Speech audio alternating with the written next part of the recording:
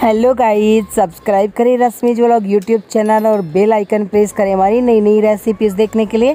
आज मैं बताऊँगी रात की बची हुई रोटी होती है ना, उसकी बर्फ़ी बनाने का सबसे आसान तरीका, जो कि टेस्टी तो होगी भी, बनेगी भी बहुत ही बढ़िया। तो इसे हम बनाने बना रहे हैं बिना शुगर के। हम इसे बिना शुगर के बनाएँगे, बहुत ही अच्छी और फैंटास्टिक तो इसके लिए मैंने लिया है दो रोटियाँ।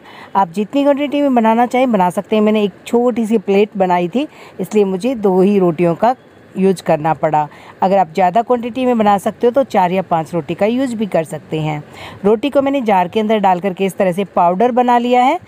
तो ये देखिए, रोटी का एकदम बिल्कुल बारीक सा और दानेदार सा पाउडर तैयार कर लिया है। अगर आपका पाउडर थोड़ा मोटा रहे तो आप उसको छान करके ले लें। इस तरह से एकदम बारीक हो जाए तो आप ऐसे ही यूज़ कर सकते हैं। चलिए बाकी के इंग्रेडिएंट्स देख लेते हैं। सबसे पहले मैं आपको सामग्री दिखा देती हूँ। जिन जिन चीज़ों का हम यूज़ करने वाले इस बर्फ़ी के अंदर तो यहाँ पे ये देख सकते हो, ये है रोटी का वो दरदरा सा दलिया जो हमने अभी पीस करके तैयार किया था। और ये है बेसन, ये देखिए। और ये है गुड़, जगरी, और ये है मलाई, एक बड़ा चम्मच, और ये है पानी जगरी को, जगरी की जो चाशनी है ना, वो बनाने के लिए। तो चलिए, सबसे पहले क्या करेंगे कि इन दोनों को हम सेक करके तैयार करेंगे। मैं घी भी आपको दिखा देती हूँ। और ये मैंने लिया है घी, आधा बाउल आप देख सकते हो। जितना हमने बेसन, और ये लिया ना, बेसन लिया एक कप तो घी लिया मैंने आधा कप। और थोड़ा एक दो चम्मच अगर ज़रूरत होगी तो और यूज़ कर लेंगे, नहीं तो हम इतने से ही काम चलाएँगे। तो चलिए इसे बनाना शुरू करते हैं। सबसे पहले क्या करेंगे, ये जो गुड़ है ना, इसको एक बाउल में डाल देते हैं, बड़े से बर्तन में, और इसके अंदर पानी डाल करके इसकी, इसको पिघलने देते हैं। गैस पे रख देंगे इसको पिघलने के लिए। और तब तक हम बेसन सेक करके तैयार करेंगे। जब बेसन मोस्टली सीख जाएगा ना, तब हम उसके अंदर ये वाला जो है ना, डालेंगे। जो हमने रोटी का पेस्ट पीस करके तैयार किया ना वो तो वो हम बाद में डालेंगे। पहले बेसन को सेक लेते हैं। बेसन को इसके अंदर डालेंगे। घी को मैंने पिघला करके लिया, आप देख सकते हो। तो हम आधा घी इसके अंदर डाल देते हैं।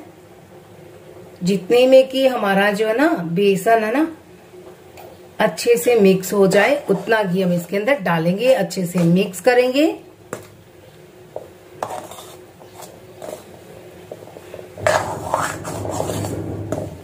तो इस तरह से घी को मिला लिया है। अच्छे से मुझे लगता नहीं है कि अभी इसके अंदर घी डालने की ज़रूरत है। तो चलिए इसे रोस्ट करना शुरू करते हैं। देखिए, गुड़ जो है ना, वो मेल्ट हो रहा है। अच्छे से चाशनी बन रही है इसकी। और अब हम इसे चलाते हुए रोस्ट करेंगे। थोड़ी देर के लिए गैस का फ्लेम मैंने हाई रखा है। जब कढ़ाई गर्म हो जाएगी ना तो मैं इस फ्लेम को स्लो कर लूँगी और स्लो फ्लेम पे लगभग मैं इसे 25 मिनट तक ऐसे ही चलाते हुए सेक लूँगी। एकदम स्लो फ्लेम पे आपको सेक लेना है। 20 से 25 मिनट तक।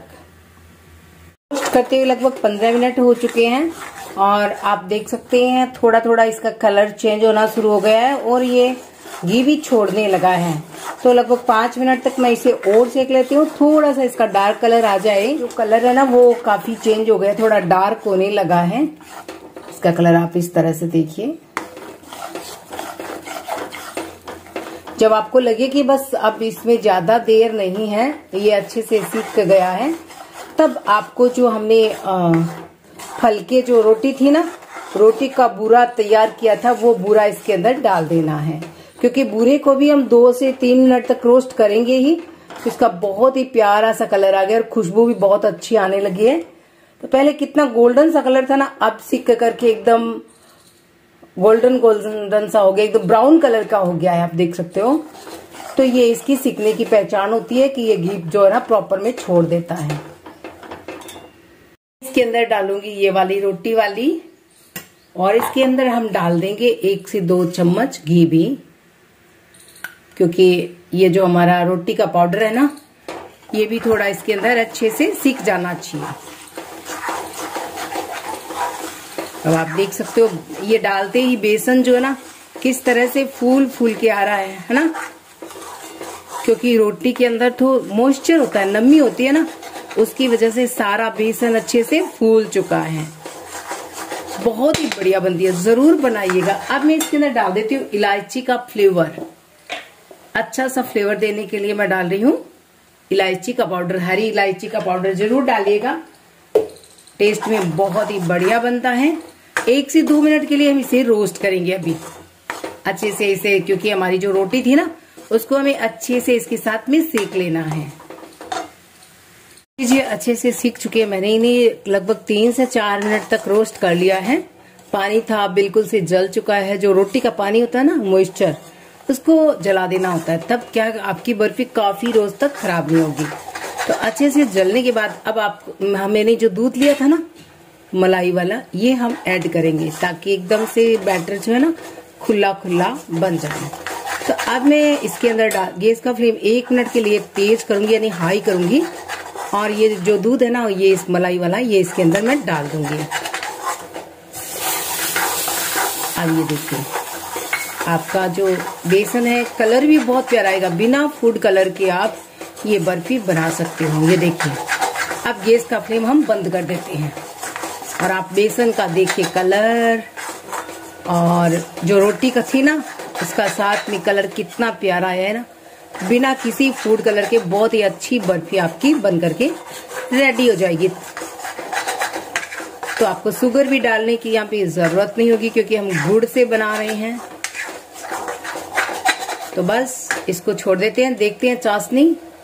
तो इस तरफ़ आप देखिए, चाशनी भी बन करके रेडी हो गई है।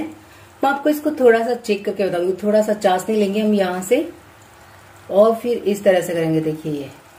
तार बन रहा है अच्छे से। ये देखिए। मतलब हमारी चाशनी बिल्कुल से रेडी है। गैस का फ्लेम मैं बंद कर देती हूँ। और सारी चाशनी को हम इसके अंदर डाल देते हैं। चाशनी को डाल करके अच्छे से मिक्स करेंगे। पूरे बैटर को अच्छे से मिक्स करना है। और उसके बाद ग्रीस किए हुए बर्तन में इसको पलट देना है। तो सारे बैटर को मैं इस प्लेट के अंदर डाल देती हूँ। इसको मैंने थोड़ी नीचे से ग्रीस कर लिया है। तो आप देख सकते हो, बिना फ़ूड कलर के और जो बची हुई रोटी है ना, उनका यूज़ करके आप ये बर्फ़ी बना सकते हो। जब भी कई बार होते हैं, काफ़ी हमारी रोटियाँ बच जाती हैं। और फिर अगर आप चाहें तो इस तरह से उनका यूज़ कर सकते हैं। तो लीजिए, सारी बर्फ़ी मैंने इसमें ट्रांसफ़र कर ली है।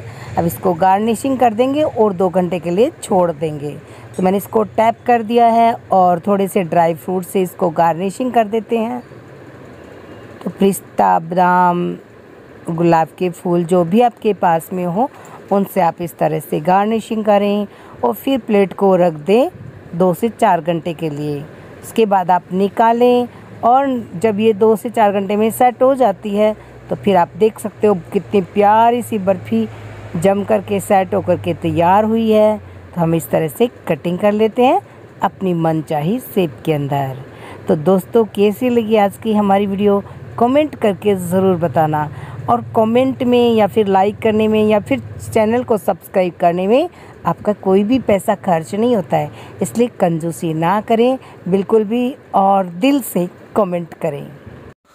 कोई भी ये नहीं पहचान पाएगा कि आपने इसे रोटी से बनाया है। देखिए, कुछ अच्छा बनाने के लिए हम बहुत सारी सब्जियों के अंदर मसाले यूज़ करते हैं, बहुत तरह तरह के मसाले डाल करके उनको बेहतरीन क्वालिटी की, बहुत बेहतरीन टेस्ट वाली सब्ज़ी बनाते हैं। ठीक इसी तरह से हमने इसमें थोड़ा सा बेसन मिक्स करके और फिर बिना शुगर के गुड़ से बनाया है, बेहतरीन टेस्ट वाली है। एकदम से टैपटिंग लग रही है, देख सकते हैं आप। वाह खाने में भी बहुत ही बढ़िया। ज़रूर बनाइएगा। थैंक यू वीडियो देखने के लिए बहुत बहुत